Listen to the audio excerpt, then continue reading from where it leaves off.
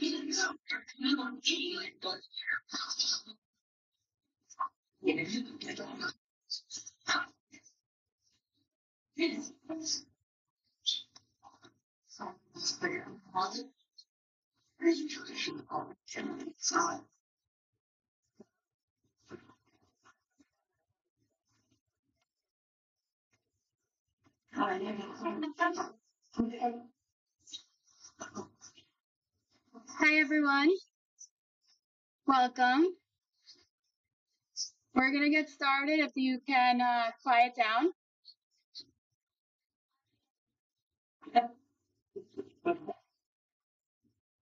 All right.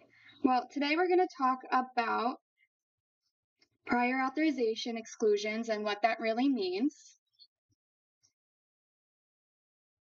And the objectives are to identify formulary exclusions determined by health insurance payers, compare evolving trends involving formulary exclusions, including alternative funding methods, adopt the process of appealing exclusions to expand patient access.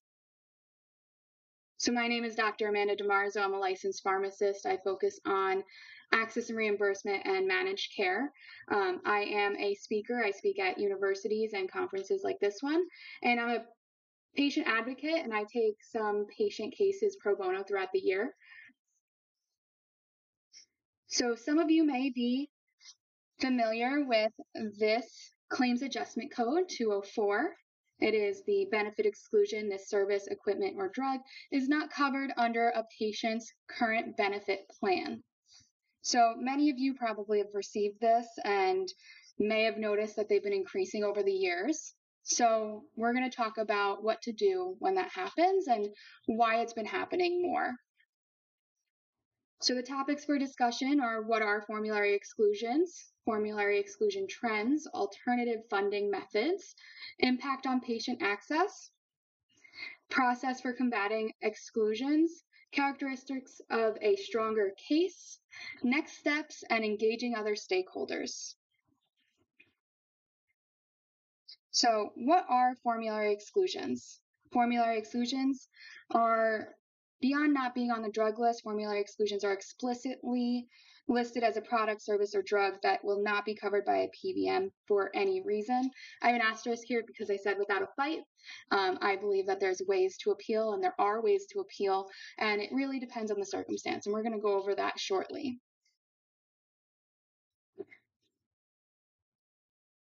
One step further are drug carve outs. So, with drug carve outs, I'm sorry, uh, with drug carve outs, it's the removal of a drug or treatment for specific disease states from a PBM standard formulary for self funded employers.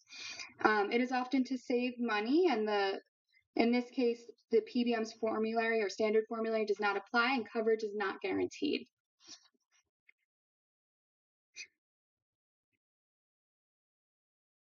The PBM justification for drug exclusions are lower costs, not medically necessary. So that's one that's coming up more and more.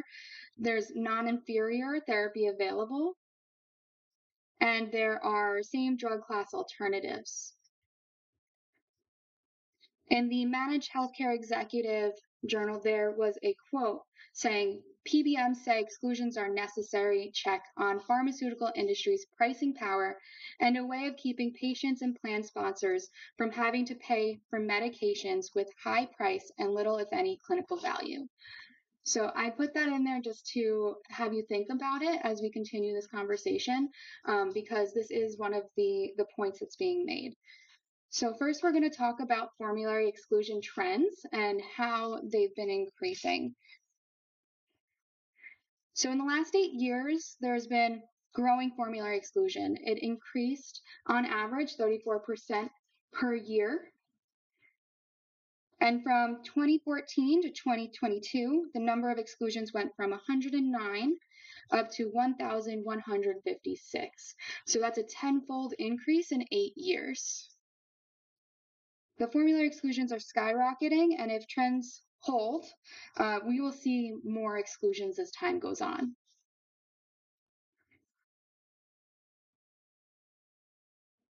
Is your number the number of products that are agreed? That is the number of products. So it's a number of drug products that are excluded each year.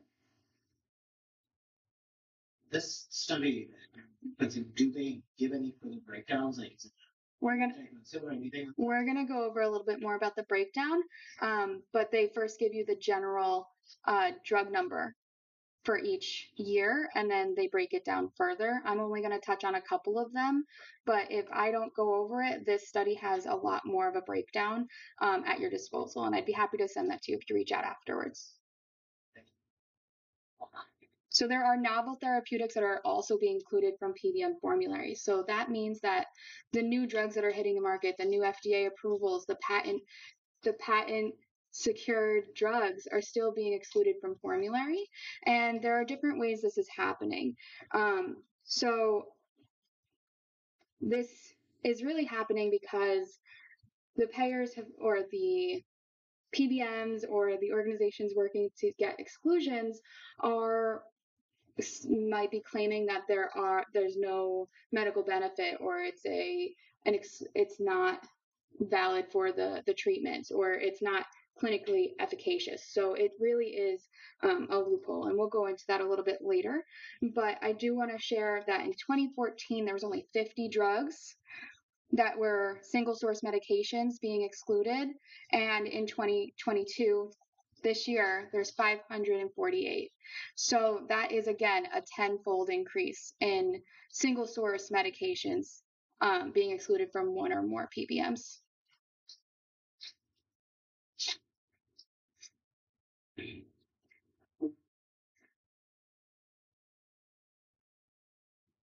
There are drug exclusions that are targeting specific therapeutic areas. So this one I'm going to pause on for a little bit because I'm sure some of you have drugs in different disease states and you're going to be interested on where they fall on this chart. Um, so the top five are autonomic and central nervous system, which comes in at 16.6% of the exclusions. The second one is diabetes, endocrine, metabolic, and weight loss. They're grouped together at 15.4%. Dermatological drugs come in at 11.1%. And number four is oncology, hematological, and antineoplastic immunosuppressant drugs at 8.6%. Um, as you can see, this is a lot of the drugs where specialties. This is really where specialty lies, um, and that's really one of the the challenges we see as we try to get approval for those specialty medications and those new drugs. I wanted to take a moment and focus on cancer patients. Um, since we know that pan- cancer patients are usually treated a little bit more expeditious, we are still seeing that there are exclusions there. Um, in 2014, there was only one PBM excluding one drug. And then as of this year, there are three PBM, major PBMs excluding 30 or more drugs. So we're seeing that cancer patients are having difficulty getting cancer treatment or supportive therapies that are going to impact their care. And this is really challenging because the cancer patients are on a shorter time frame if we're going to consider that. And it really is comes down to we need to make sure patients have access to care. And if we continue to see exclusions, the process that I'm going to talk about later is really hard, especially for this patient population, because time is of the essence with them, and we may not have time to go through what we need to go through. Was that correct showing the, is that the number of therapies that were denied? It's the number of drugs that are being uh, that are excluded from those three PBMs. So for CVS Caremark, it's 30 this year. For Expre- Express Scripts, it's 38. And for Optum, it is 29. Um, I'm not sure. I don't have that written down for you, but I can look that up for you um, later. Yes, it also changes based on like what the demand is. Um, it also plays into the rebates. Yes, the and also it comes in down to sometimes the rebate structure. Um, so some drugs may that were excluded come back on. Um, over the course of the years, it, it does change. So then we're going to talk about the growing interest in carve outs. So when we're looking at the carve outs, we're really focusing on that self funded employer. And they have increasing interest in explore, exploring the carve outs to save money on health costs. So even though 61% are not currently using or exploring use, that leaves almost 40% that are using and exploring use of these carve outs. And if just under 40% of the self funded employers are currently using and exploring them. That's a large portion of the population. 65% of the workers that are funded for insurance are self funded ben- like benefit participants. So that's a large portion of the American population. So now we're going to go into alternative funding methods. This is a very hot topic right now. We are currently spending a good amount of time talking about it. Um, I don't think it's been getting a lot of um, airtime previously, but we're going to talk about what they are and what they do and what the results are. So, alternative funding methods are organizations or programs that are excluding drugs from the formulary or carving out that specific drug to exclu- exclusively take advantage of patient assistance programs.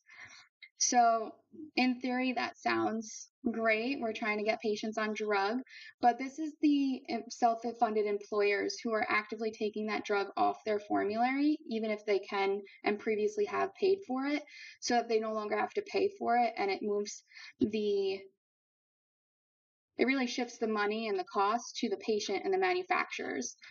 Um, what they do is they really remove the drugs from the benefit and then exploit the free and assisted drug programs provided by nonprofit organizations and manufacturers. And excuse me, what was that? We're talking about all drugs. Yes.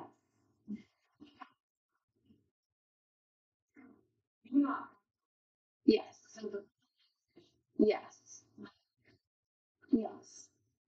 So we are talking about all the drugs that are in here. We're seeing more uh, specialty drugs falling into this where they're using the alternative funding methods to just exclude different drugs from the formulary to then take advantage of patient assistance programs.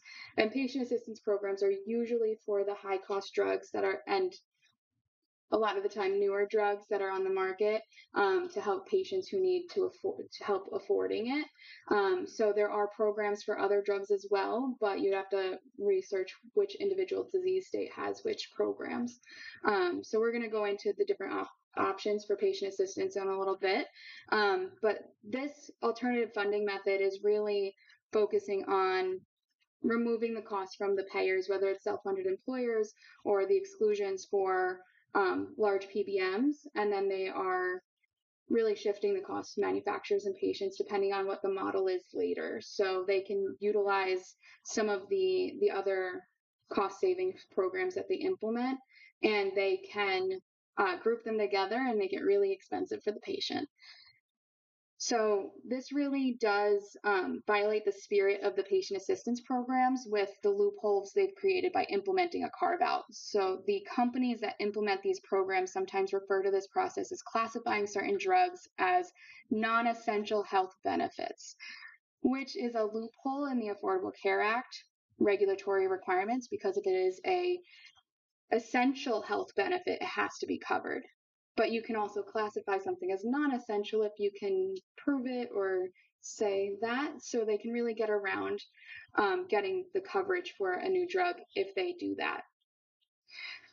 Patient assistance programs were created to help patients who genuinely could not afford the cost of care. So drug carve outs used in this way allot some of the patient assistance money to financially capable payers when it was intended for those patients who genuinely cannot afford the medication. So, underinsured or uninsured for this medication may be exploited just to get some savings for the payer. And the real people that are impacted are the patients. They are getting delays in care, they're paying more for drugs, they're confused about their coverage because some of these policies are very confusing for what their monthly responsibility is. Um, and then they're unsure about who can help, and they're more likely to abandon therapy because it can be so difficult to navigate. As we go through this, um, I want you to keep in mind that the, the patient is really the one that's being harmed in all of this. Um, employers are purposely removing the drugs from their formulary because there is a safety net of a patient assistance program to help their employees. The federal law, ERISA, exempts self funded plans established by private employers from most state insurance laws. So you mentioned Texas. This is one of the ones that um, can get around it.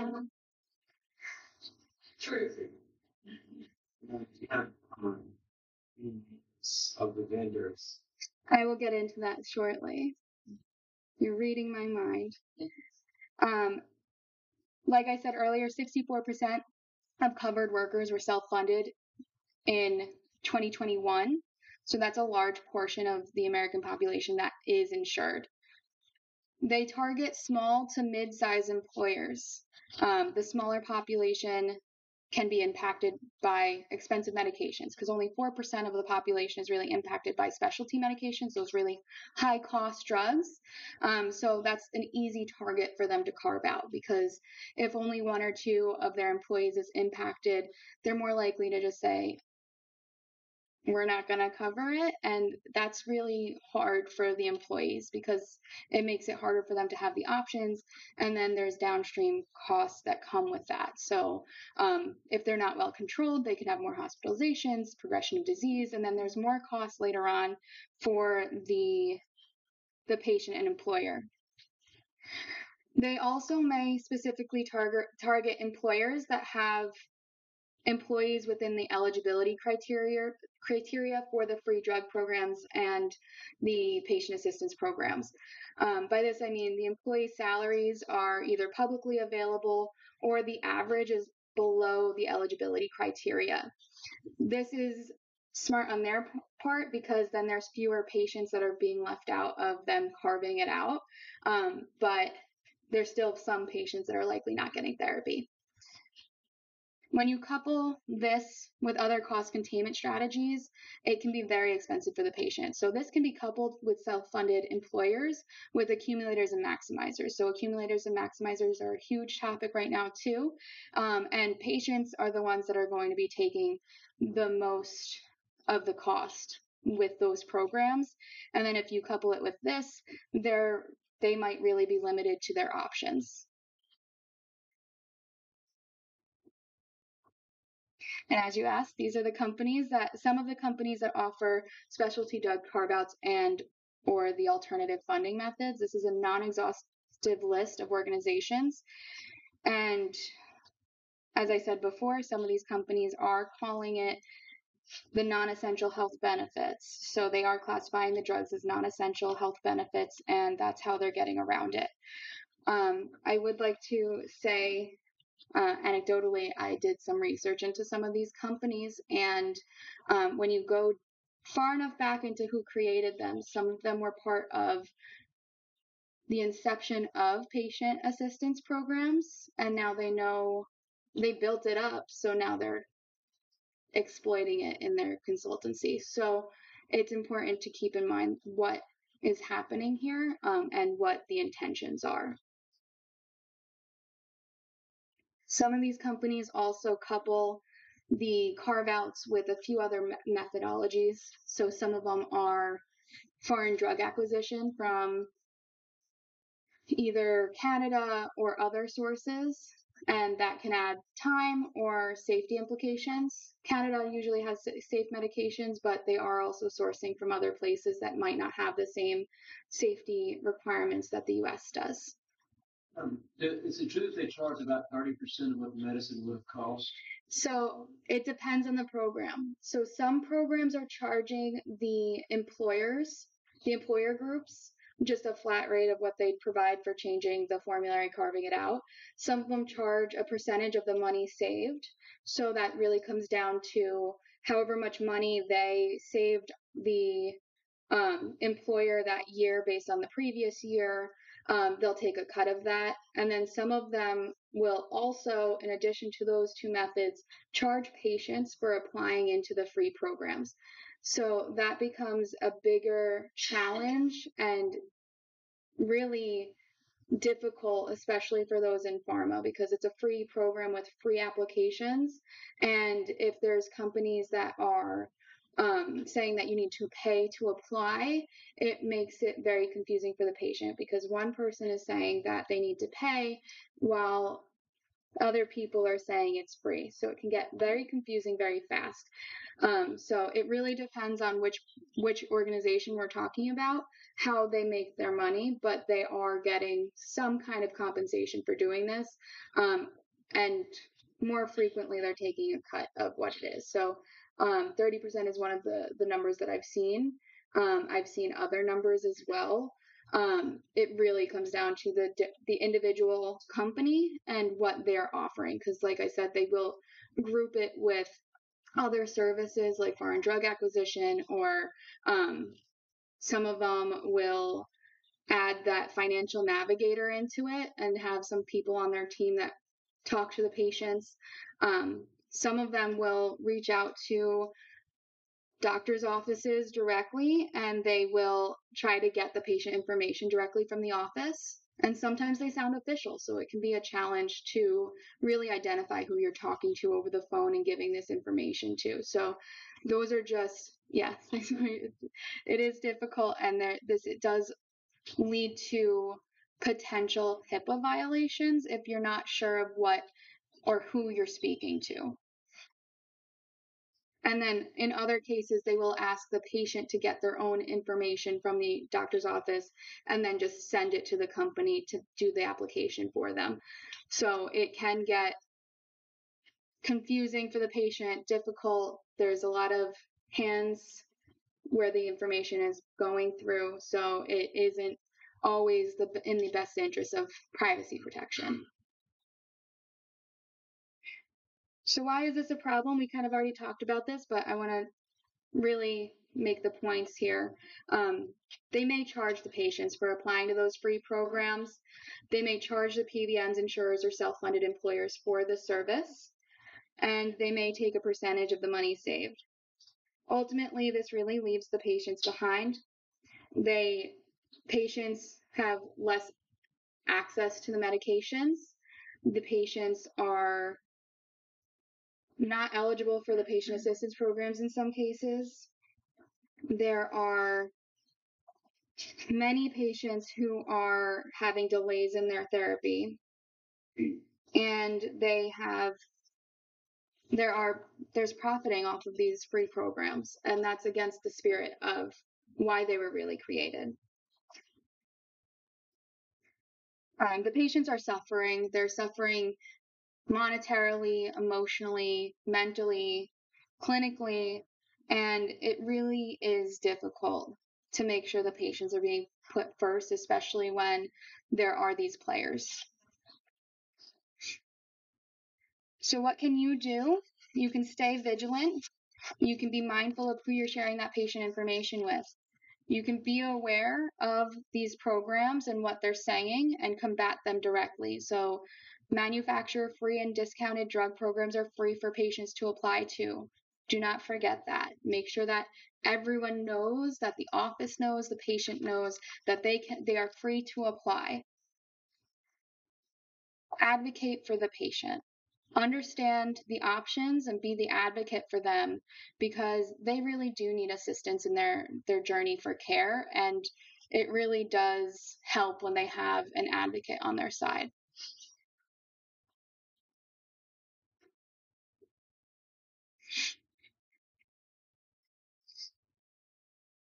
The impact on patient access. So, exclusions are restricting patient access. The li- limitations to single source medications limits the patient's ability to access novel therapeutics, some of which may have better results or provide options for patients who have tried many step therapy, failed first therapies, or therapies that were really experimental and just an effort to make them feel better. Um, there's variability in the exclusions from payer to payer, and that can lead to gaps in patient care um, just because there's a lack of information or if a patient changes jobs or health plans. A medication that has been optimal or had successful results in the past can become excluded in the same health plan year to year. And that can be difficult because then the patient has to start the process over. And then non medical switching could lead to suboptimal or dangerous multi drug regimens, especially in complex conditions that have treatments that interact with other drugs. Um, and there, it really comes down to, um, I would say, a lot of the, the high touch disease states have a lot of drug regimens that that can have interactions and if there isn't someone that's maintaining the patient's profile and medication list um, it's it's something that could fall through the crack the direct patient impact is the lack of really a decrease in continuity of care and a decrease of quality of care so now we have the process for combating exclusions the initial steps really come down to what we always know prior authorization and then appeal. The prior authorization is really needed um, because you need an initial denial to do anything. You need to get that 204 and then you need to take next steps. That's just what it is. Um, and a paper trail is needed. So making sure that you're documenting everything that's happening and making sure that you're keeping copies for yourself at the office and for the patient so that everyone has multiple copies will help the next steps because you will have to take the appeal to another level where it will likely have to go to an external appeal. The appeals, the Affordable Care Act requires that all consumers have the right to appeal denied claims. Um, I always recommend including a letter of medical necessity from the prescriber. Um, that always is a stronger case than one without.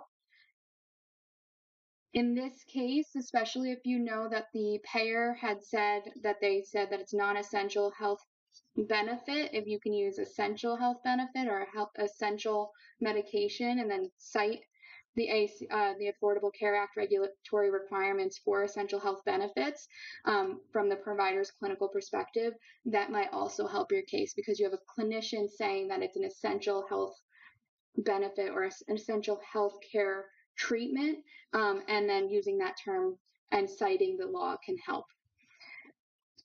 You include research and journal articles that state the value of the desired therapy. So if you don't know where to find these, you can really engage the manufacturers. And if you work in an office, you can engage their medical affairs teams and medical science liaisons, and they would be able to help your provider find that resource the resources can be found in a lot of places, and there's a lot of research out there about each drug that you can utilize in these um, appeals to really support your case. You can also include any therapies failed. So, saying that the clinical guidelines say to take X amount of drugs in this order before trying this drug, and you say they failed, and you say why they failed, or why they're contraindicated in that patient, um, can also support your case. And then you want to include any justifications for why drugs on the formulary are not appropriate and haven't been successful. So you want to just go over all of the different scenarios that can come back. The importance of creating a paper trail really comes down to accountability and creating data. The accountability really holds stakeholders accountable when pursuing this appeals process. You don't want to lose any documentation, and you will likely have to go through the external appeals process. So, showing that each time you tried to reach out to them and get this approved um, shows that you've you've really been putting in your best effort, and you might have not have getting the same result. I also recommend every time you call, every time you send something to someone, document it because it shows that you've been putting in a greater effort than they have, um, and it might help your case. And then creating data, so tracking the demand and denials for a drug can contribute to changes in the formulary year after year. And this one's a little bit more abstract, but I always recommend doing this because payers want to know what's being denied. Pharma wants to know what's being denied and how much, and they use that information to help get the drug on formulary. They're saying that the patients want it, the providers want it. Let's work together to get it for them. So pharma can use that information to inc- of increased demand to negotiate a way to be on the health plan's formulary, and then health plans could evaluate demand to also neg- negotiate better rebates. Um, while we may not like rebates, this can help us if we want to make sure that it gets on formulary. So the data really can help that in an abstract way. It really does help the pharma companies and the health plans to have those conversations or at least initiate those conversations. So a denial still does something. Um, it does take time, and I know that offices are really busy, so it can be difficult if you know it's going to get denied. But for the right patient, and if you have the resources, it's worthwhile to get that denial because it can change the outcome for patients in the future.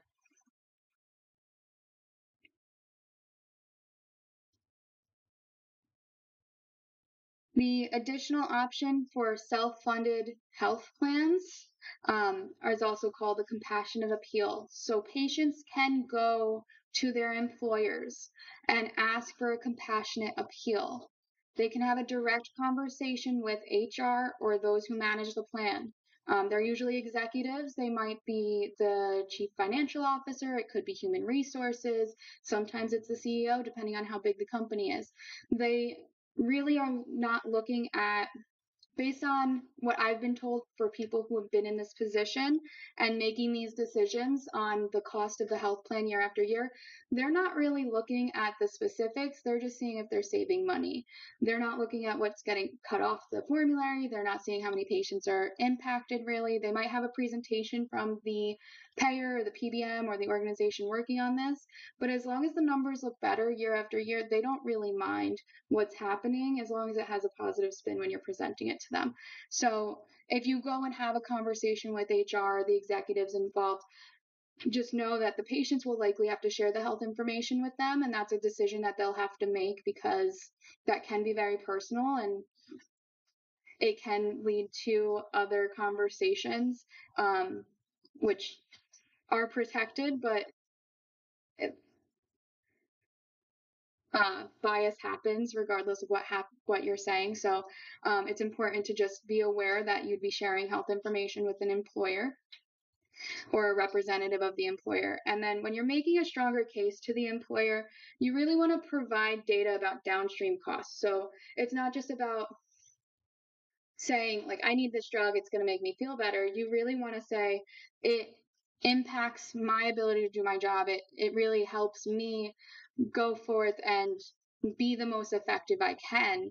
And then you also want to say the you want to cite I always say cite research on anything that you provide to someone, um, but it, you can also provide the cost of trial and error. So the fail first and step first therapies have a lot of research out there that you can use to support what you're going to say to your employer. So you can say trial and error is going to cost more. I'm going to more doctor, more doctors, more doctor visits. I'm trying more drugs. All the drugs have variable costs. If it doesn't work in a couple of weeks, I'm going to start another drug, and then you're just going to have to pay for a lot of that.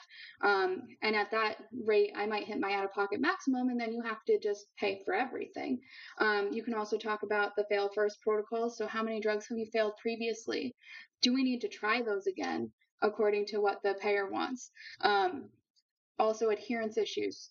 If it's not working, there's going to be challenges with actually taking the medication and actually seeing results. And then the cost related to disease disease progression it's going to be a big one. If you can find data on that and show them that long term this could be expensive, but this is not a process for everyone. Um, you're going to be building a case of why it's more expensive, and that's while it might help you right now. Um, it might not help you in the future. So it's this is one way you can do it. Um, I've seen I've talked to some HR professionals who have approved compassionate use cases. They are usually also a little bit more flexible to the emotional response. So you can write a letter that really um, shares your experience, and they might be more willing to to approve it just based on what you've been through you it's your coworker it's usually a coworker that you're sending this to and they may be you may already have a relationship with them so that could be used to an advantage when you're trying to get a com- compassionate appeal. The characteristics that enhance a case previous use had pro- positive results. So if you've been on a different insurance plan or you've they recently um, changed it to an exclusion, you can appeal to get it approved based on previous experience. Um, so that allows you to say, this has worked before, nothing else works this well, and it's really going to be the only thing that um, is going to work at the moment. So we can revisit the conversation, but for right now, with what's available on the market, this is what has the best quality of life there may not be any other treatment options. So, like I said earlier, there's single source medications that are, are being excluded. And with those, what are the other options for these these patients? Well, there might not be any other options for these patients. So that might also enhance the case. Um, for those single source medications, there probably are some alternatives. Whether they're as efficacious is really um, up to what the clinical information says, but you can make the case that this is more clinically efficacious and that the drug is really the only option that's going to help this patient. Um, all the other alternatives were tried and failed. You may also be able to get the medication approved and have a formulary exclusion exemption. And then the drug was not previously excluded but now is, is also a really good case for appeal and getting that exemption because the patient was doing well on the medication and then they can go and try to get it um, approved for even though it's excluded for new members they might be able to be grandfathered in.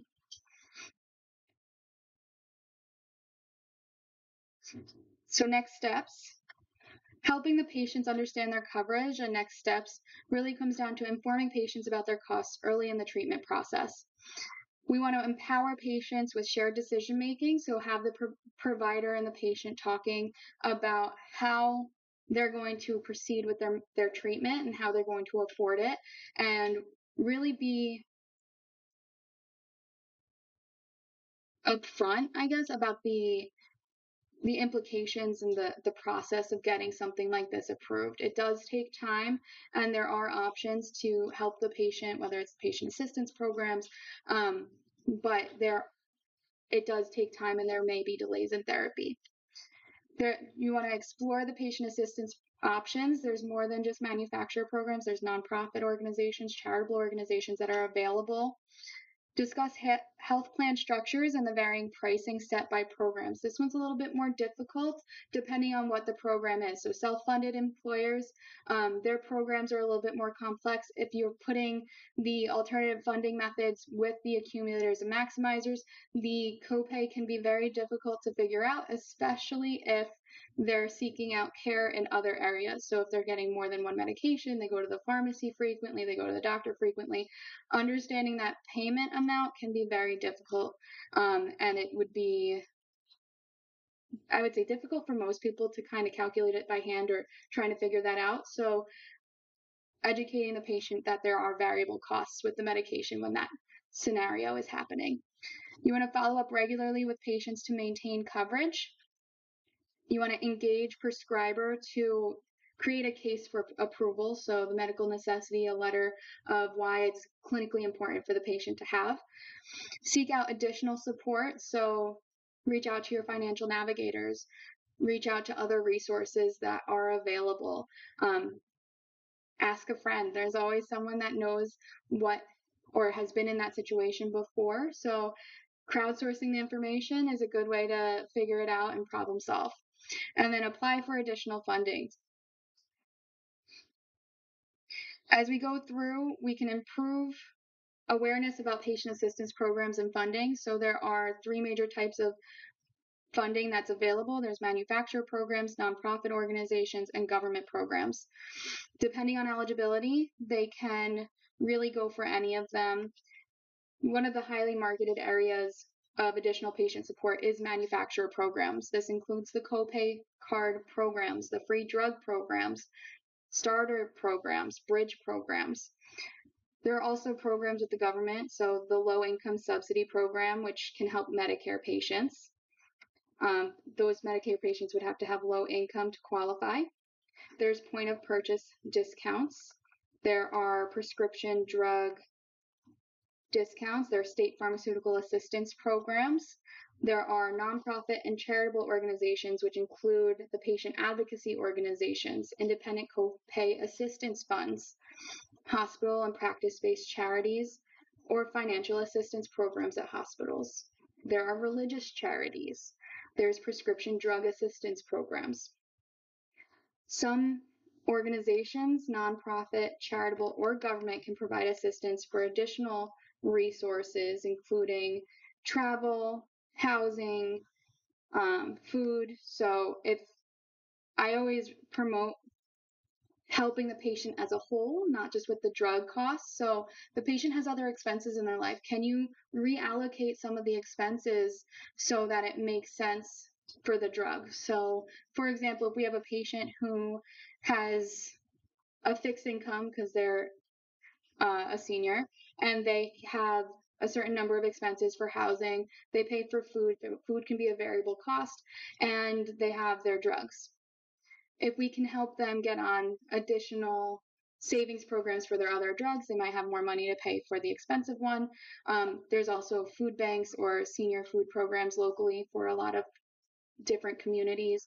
Um, there are religious charities that can provide transportation, housing assistance, and then food assistance as well. So it's looking at the whole person rather than just how do we get the patient on the drug. It's really um, a holistic approach to helping the patient with their affordability.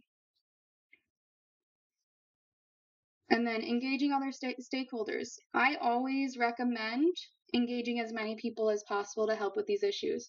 We're not siloed in working on these problems. We're not siloed in working with patients.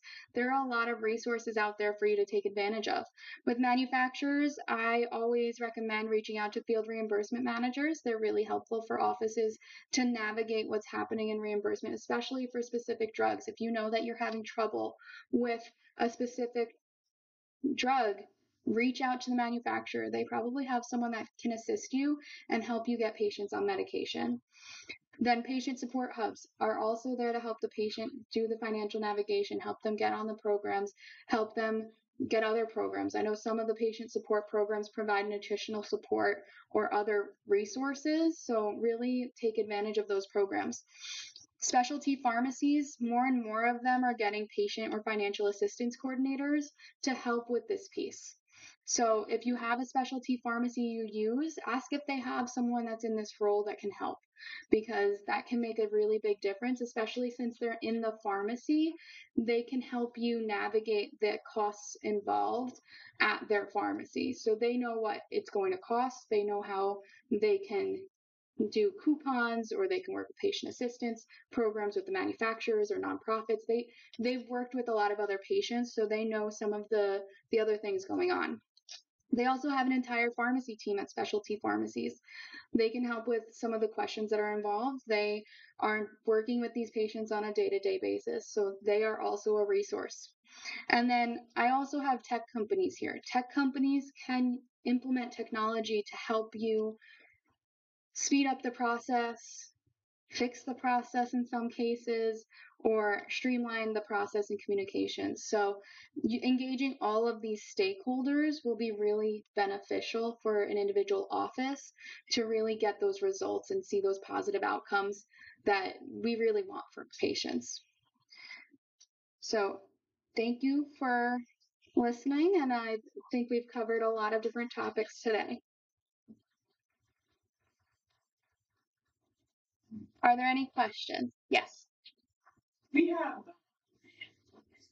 we have some products that uh, they are approved to be administered at home and our physicians with current meetings in office. And so to me, it's, it's not technically an exclusion, but if, you know, any insights on Yes. So the that? So the question is um, the allergy and immunology space. There are drugs that are self-administered or um, the payer prefers self-administered so that it goes through specialty pharmacy while the providers prefer buy and bill. Um, that's not an exclusion. That's just a preference for the specialty pharmacy. Um, we're seeing more white and brown and clear bagging happening. Um, and that's really not going to go away because vertical integration has really led to um, improved profitability for these organizations. So they're going to push as many patients as possible to these organizations um, because that's how they make more money. They own the organization they're pushing it to.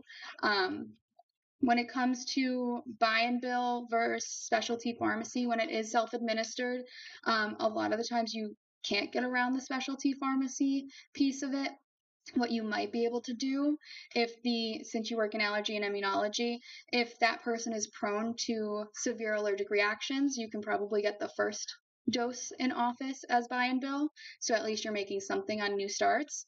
Um, and that's because you can just say clinic you'd have to do a prior authorization for it but you'd have to say clinically we don't want to do them to do the first one or two at home just because they are prone to allergic reactions, um, and then apply for it and try to get buy and bill through that, just because that can be severe reaction for your allergy and immunology patients. So that's one way you can do it. Um, buy and bill versus pharmacy benefit. I would say there are others that are way more informed about this um, that would be could dive really deep with you. Um, I know some, but I would say the expert would be Elizabeth Johnson. So go to her and ask her very specific questions. I'm sure she'll love it. Um, but I can answer some questions, but she really does it day in and day out with the buy and bill. So she would be the one to talk to. Are there any questions? What's your thought on um, cases where there is a, I'm just going to say, bridge program that the manufacturer provides so that the patient can take advantage of while authorization is in process? Because knowing that the authorization may or may not get approved, the patient ultimately, is it advisable for the provider to take the patient on bridge program, get started on therapy, and then find out, whoops, you didn't? Okay, so the question was what is my opinion on bridge programs because it provides drug to patients um, when they're working on the approval process with their payer and the drug might not be approved at the end. So this one is a special case that I think is valuable. So one of the the benefits of a bridge program is you could start to see benefits, clinical improvement with bridge programs um, if they're long enough.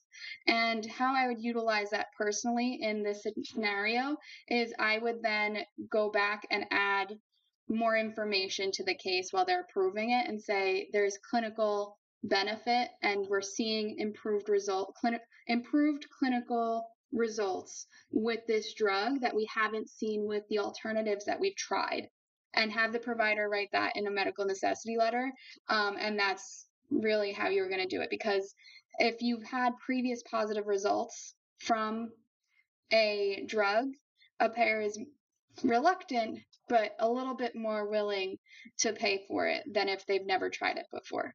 So it's still going to be a battle. Don't get me wrong, it's going to be a challenge. But there is, if there's no other options that patient has and they've gone through all of the options available to them and you're really trying to get them on this, it might be the way to go. Are there any other questions? Yes. Alternative funding model. So I had a scenario recently where there was a valid PA on file, so the patient had already received drugs. Then the PBM tried to steer via a benefit coordinator or a patient advocate